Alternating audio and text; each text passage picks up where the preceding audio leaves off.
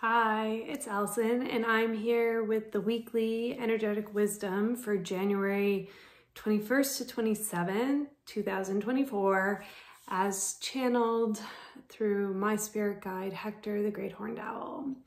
Okay, so here we go. Uh, Hector swoops in and perches on my right hand side like he likes to do. He takes a deep breath in, extends his right wing out into the landscape. It is white with the cold of winter. The air is crisp and it hurts a little to breathe. He says, Take it all in. This is what you've been waiting for, even asking for. And now that it's here, there's discomfort. We look into the future with dreams and thoughts. We create in our mind's eye what we believe we want.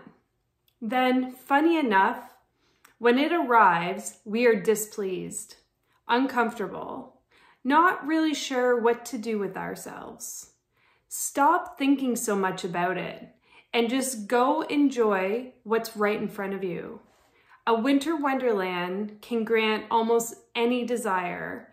It's just the way you perceive it and interact with the idea, which makes the difference. Ultimately, you get to decide. Sit in the discomfort or suit up, get out there, and enjoy what's right in front of you. Life comes in seasons, each one with a purpose, a lesson for us to learn. Be well, he shares. So yeah, join us on Sundays where I post the weekly energetic wisdom from my spirit guide, Hector the Great Horned Owl.